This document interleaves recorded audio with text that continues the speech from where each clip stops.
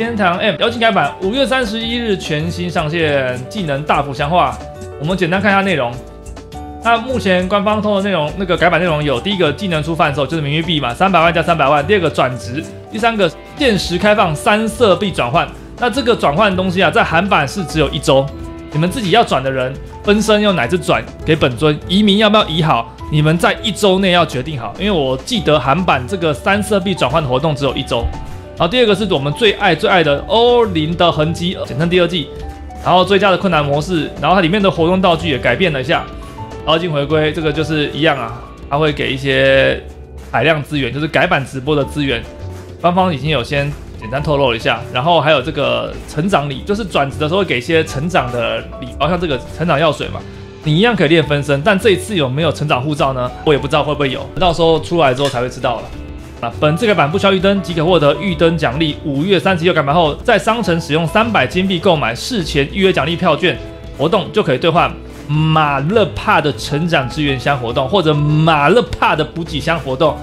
对应丰厚的奖励。那如果你要练分身的话，肯定是选择成长资源，因为补给箱应该就是给那个万能药啊，然后给祝福卷那些直接让你换的。那这个马勒帕的成长资源箱活动，就是去练分身人在用的。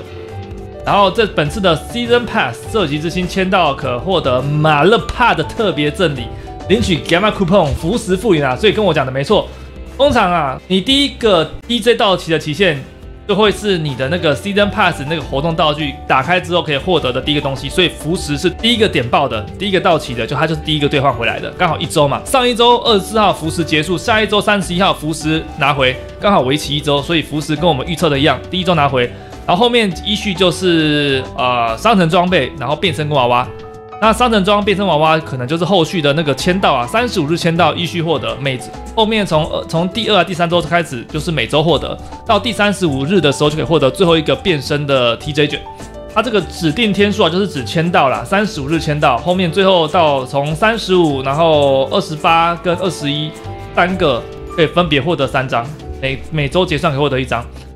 然后特殊变身、特种发跟特殊商城复原卷，这个特殊代表可以自选，那特殊商城就是代表你可以选择其他的。那你们刚刚有人说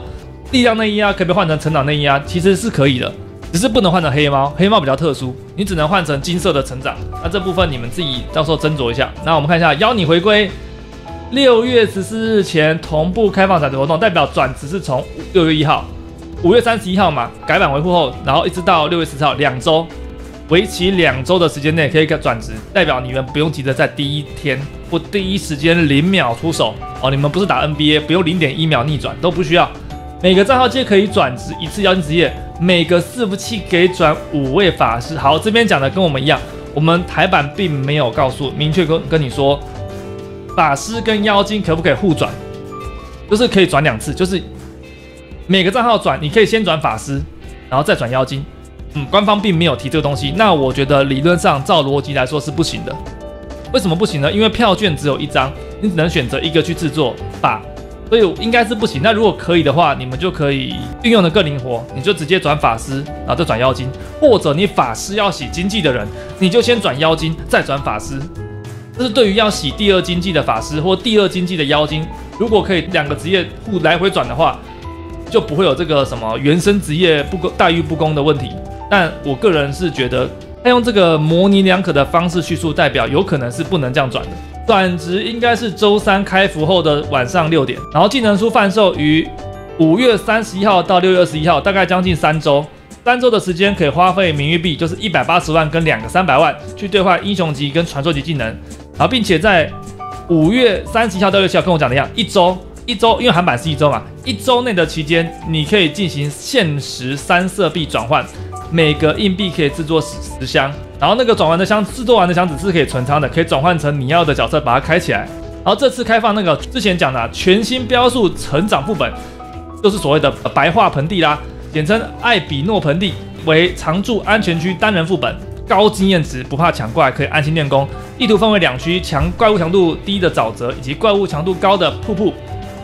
玩家可根据机体选择练功区域，此外使用指定道具可进入两种 BOSS 地图。击败 BOSS 还有几率获得三种全新的传说变身卡以及娃娃卡，就是所谓的白化不死鸟那些的。白化死棋、白化什么鬼东西的白化、白化不啦不啦那些白化来白化去的，就这些啊，白化盆地。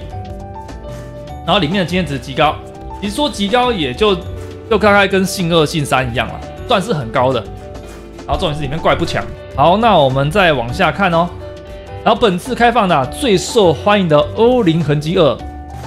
本次欧林有多了五招全新技能以及更多的奖励凭证兑换。这次的如果你完成困难模式的十个关卡，还可以获得专属称号欧林专家。我跟你讲，这个称号简直是为了我而设计。但是我叫我叫欧林大师，我不是专家，我是比专家更高阶的大师。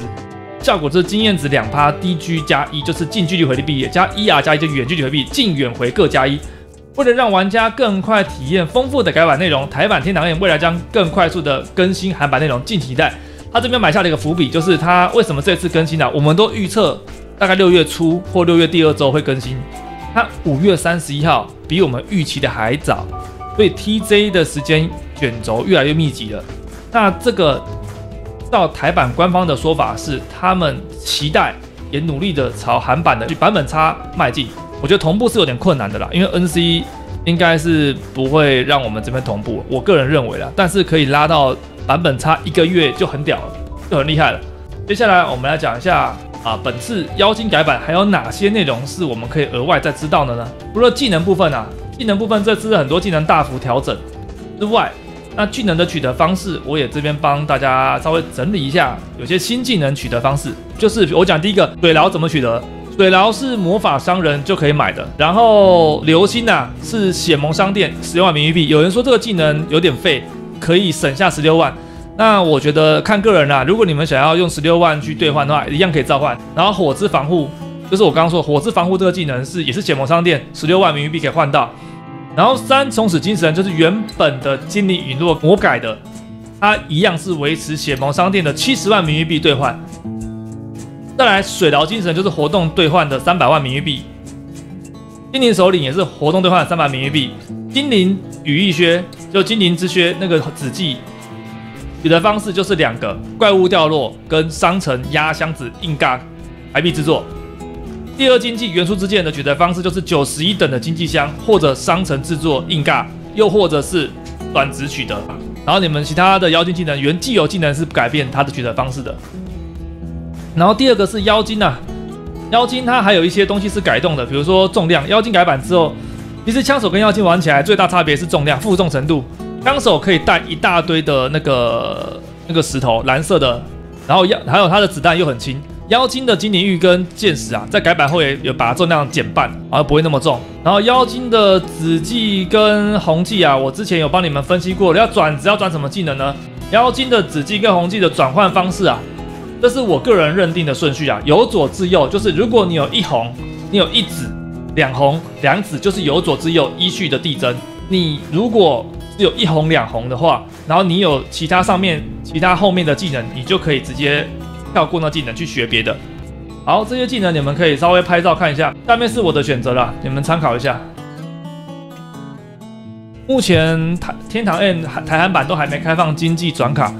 至少现在经济重复是不能转的。你们如果有第一金的，就不要再合了，再合下去你还是第一金。因为目前韩版啊还没有对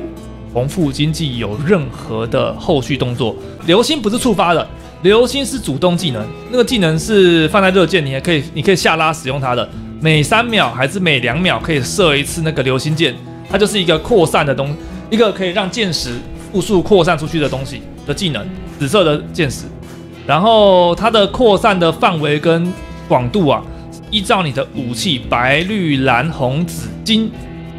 然后伤害也是依照你的武器强度去做改变的。还有什么有任何妖精想问的问题，或是妖精改版还有什么资讯想知道的，我可以帮你们回答。